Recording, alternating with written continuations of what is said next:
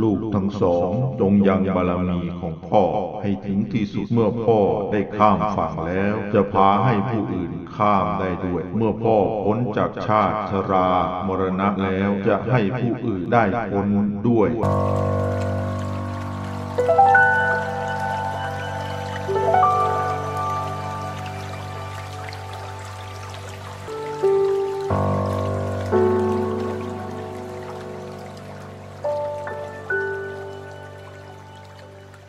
นั่นเป็นคำกล่าวของพระเวสสันดรตอนที่เรียกกันหาชาลีขึ้นมาจากสระบัวในสระอนุดาตนะครับ ซึ่งความตอนที่แล้วเนี่ยก็มาจบลงตรงที่ชูชกเนี่ยพากันหาชาลีไป พระเวสสันดรแม้จะสงสารลูกสักเพียงใดก็จะต้องยังบารมีให้เต็ม แต่ก่อนที่จะ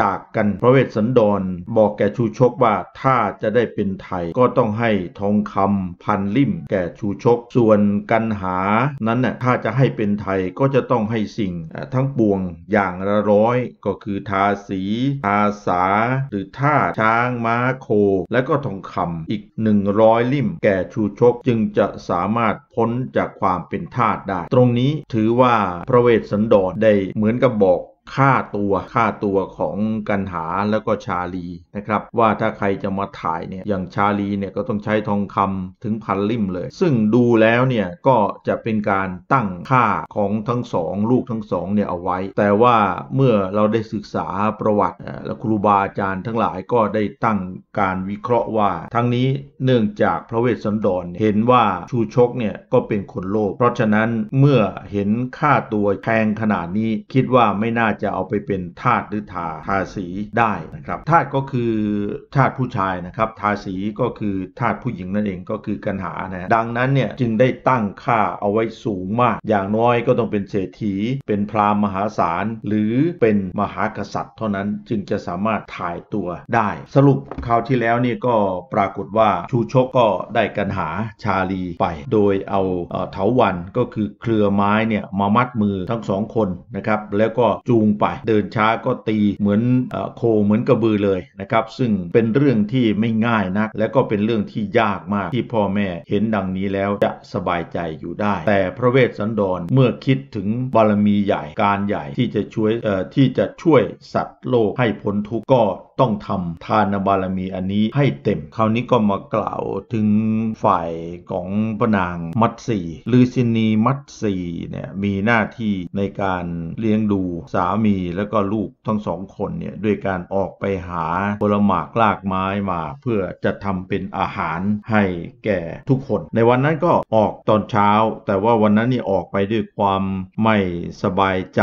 นะจิตใจไม่ปลอดโปร่งสักเท่าไหร่ ก็รีบหาผลไม้แล้วก็รีบกลับเช่นเดียวกัน เพราะว่าเป็นห่วงพอดีวันนั้นเนี่ยในช่วงที่พระเวสสันดรบริจาคลูกกันหาชาลีให้กับชูชกเนี่ยเราเทวดาก็เห็นและรู้โดยทั่วกันนะครับรับทราบรับอนุโมทนา แม้กระทั่งพระแม่ธรณีแผ่นดินก็มีการวันไหว ก็เรียกว่าแผ่นดินไหวเลยนะครับ คลางคลืนเพื่อที่จะแสดงความยินดี หรือว่าอนุโมทนากับทานบารมีที่พระโพธิสัตว์เวสสันดรได้กระทำกุศลนี้ให้เต็ม ดังนั้นเนี่ยเท้าวสักกะจึงให้เทพบุตรสามองค์จำแรงกายเป็นราชสีเป็นเสือโคร่งเป็น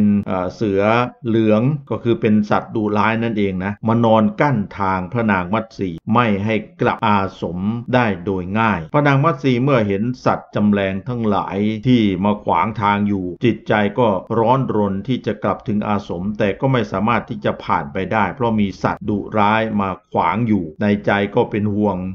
ลูกชายแล้วก็ลูกสาวนะเป็นห่วงกันหาเป็นห่วงชาลีเป็นอย่างมาก แต่ก็ต้องหยุดรอจนกว่าสัตว์ใหญ่ทั้งสามนั้นจะหลีกทางให้จึงจะสามารถเดินข้ามมาได้ แต่โดยที่สุดเมื่อชูชก แล้วก็กันหาชาลีเนี่ยเดินทางไปไกลแสนไกลแล้วเนี่ยนะครับสัตว์ดุร้ายก็คือราชสีเสือโคร่งแล้วก็เสือเหลืองเนี่ยก็เปิดทางให้พนางมัตสีพนางมัตสีมาถึงอาสมก็เห็นเงียบผิดปกติ ไม่เห็นลูกทั้งสองคน ซึ่งโดยปกติเนี่ยจะวิ่งออกมารับนะครับมารับหาบรับคอนต่างๆ ที่ที่แม่ไปหามา แต่วันนี้เงียบก็ส่งเสียงเรียกนะแล้วก็ตามหาที่โน่นที่นี่ครับแม้กระทั่งในสระโบกกรณีในสระน้ำนะครับที่อยู่ใกล้นึกว่าลูกจะไปเล่นอะไรต่างๆ ก็เที่ยวตามหาจนกระทั่งว่ามืดค่ำจนกระทั่งว่ามืดค่ำก็ยังหาไม่เจอ ในที่สุดพระนางก็ต้องเข้าไปหา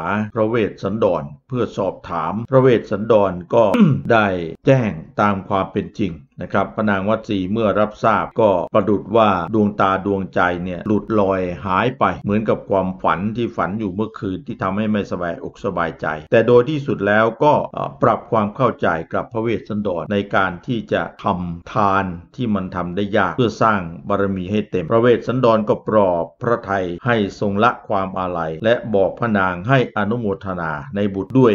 ในการกระทำที่บริจาคทั้งบุตรและธิดานี้ก็ถือว่าเป็นทานที่ประเสริฐและมีกุศลอย่างมากมายนะครับ โดยเฉพาะพระโพธิสัตว์นี้ก็ถือว่าเป็นการทำบารมีให้เต็ม จะเห็นว่าทั้งมนุษย์และเทวดาทั้งหลายก็สาธุการนะก็คือว่าอนุโมทนาด้วยที่พระองค์จะได้สำเร็จเป็นผู้ที่พาสัตว์โลกข้าามสังสารวัฏแห่งความทุกข์นี้ไปพระนางวัดซีก็เลยทำใจแล้วก็เข้าใจทั้งลูกแล้วก็ภรรยาก็เข้าใจทำให้พระเวสสันดรเนี่ยได้สร้างบารมีอันยิ่งใหญ่ โปรดติดตามตอนต่อไป